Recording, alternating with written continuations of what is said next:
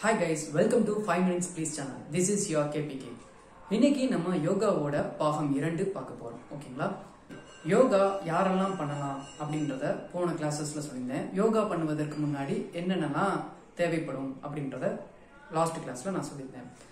உங்களுக்கு யோகா பண்ணுவதன் மூலமா உங்களோட இன்டர்னல் ஆர்கன்ஸ்லாம் வலிமைப்படுத்த முடியும். ஃபார் எக்ஸாம்பிள் ஒரு மூச்சு பயிற்சி பண்ணுவதன் மூலமா உங்களோட உடலில் இருக்கிற இன்டர்னல் ஆர்கன்ஸை வந்து வலிமை மற்றும் தூய்மைப்படுத்தலாம். அதனால தான் யோகா முக்கியமானதுன்னு பார்க்குறோம். இன்னைக்கு நம்ம யோகாவோட அடுத்த லெவல் பார்க்க போகிறோம் ஓகேங்களா? எளிமையாக யோகா செய்வது எப்படி அப்படின்றதான் இந்த கிளாஸில் நீங்கள் கற்றுக்க போகிறீங்க வாங்க போகலாம்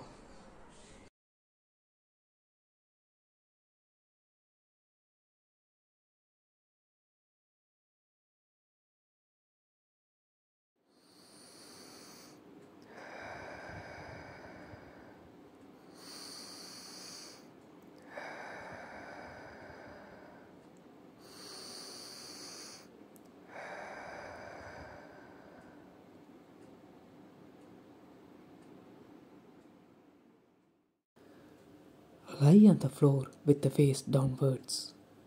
Relax all the muscles of the body. Slowly raise the head and bend the spine backwards. Stretch the feet backward.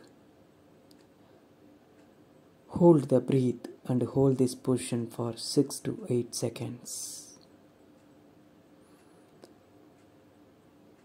Then exhale and bring the head to its original position. When you first lie on the ground, keep the chin touching the chest. Hold the breath till the head remains in the raised position. Repeat this asana 5 to 6 times. The asana name is Bhujangasana. கொப்புரப்படுத்த நிலையில் தோளுக்கு நேராக உள்ளங்கைகளை ஊன்றி மெதுவாக தலையை மேலே உயர்த்த வேண்டும். எவ்வளவு முடியுமோ அவ்வளவு பின்னாடி வளைத்து கொள்ளுங்கள். ஆறிலிருந்து எட்டு செகண்ட் வரை மூச்சை அடக்கி இதே நிலையில் இருக்க வேண்டும். ஆரம்ப நிலைக்கு வந்த பின் மூச்சை மெதுவாக விடவும். இந்த ஆசனா பெயர் புஜங்காசனா.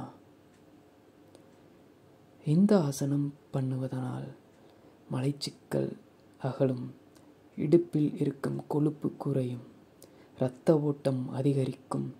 பொதுவாக குழந்தை பிறந்தவுடன் பெரும்பாலான பெண்கள் முதுகு வலியால் அவதிப்படுவார்கள். அவர்கள் இந்த ஆசனத்தை தினமும் காலை மாலை செய்வதன் மூலம் முதுகு வலி பிரச்சனை சரியாகும் hold the position of Bhujangasana lie on the stomach on the ground place the palms on the ground beside the shoulders raise the heels up now turn the head and the trunk to the right side look at the heel of the left foot then turning the head and the trunk to the left side. Look at the heel of the right foot. Then bring the body to its original position. The asana name is Triyak Bhujangasana. Repeat this asana eight times. Bhujangasanam நிலையில் இருந்தவாறே கால் விரல்களை ஊண்டி உடலை சிறிது உயர்த்தியவாறு வலது பக்கமாக திரும்பி இடது காலை பார்க்க வேண்டும் அதேபோல் இடது பக்கமாக திரும்பி வலது காலை பார்க்க வேண்டும். இதை எட்டு தடவை செய்ய வேண்டும். இந்த ஆசனம் பெயர் திரியக் புஜங்காசனம். இந்த ஆசனத்தை தொடர்ச்சியாக செய்வதன் மூலம் முதுகு எலும்பு மற்றும் இடுப்பு சதைகள் வலுப்பெறும் Bend the legs at the knees. Place the heels at the side of the anus. In such a way that the thighs rest on the legs and the buttocks rest on the heels. Support the whole body on the knees and the ankles. Stretch the arm and place the hands on the knees. Breathe normally while performing this asana. Try to hold the position maximum 5 minutes. The name is is முழங்கால்களை மடித்து உட்கார்ந்த நிலையில் கையை முழங்காலில் வைத்து முதுகை நிமிர்த்தி நேராக பார்க்க வேண்டும். முடிந்தவரை ஐந்து முதல் பத்து நிமிடங்கள் இதே நிலையில் இருக்க முயற்சிக்கலாம். இந்த நிலையில் இருக்கும்போது இயல்பாக மூச்சு விட வேண்டும். இந்த ஆசனம் பெயர் வஜ்ராசனம்.